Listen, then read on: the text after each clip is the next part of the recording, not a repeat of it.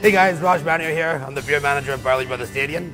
I've been here since we opened in 2014. I had the pleasure of opening up the first one by Polo Park in 2013. Here at Barley Brothers Stadium uh, on Pembina, we have the most beers on tap anywhere in Canada, uh, which is over 150 right now.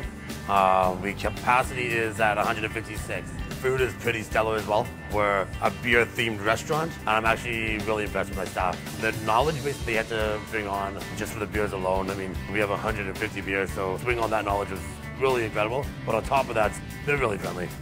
One of the things that I really like about here is the guests that come in. I mean, when they walk in visually right away, it's just a wow factor. Um, obviously, two and a half story tall glass cooler in the dining room. People have never seen that before. Barley Brothers in general, with both locations, we're the only ones doing craft beer on tap.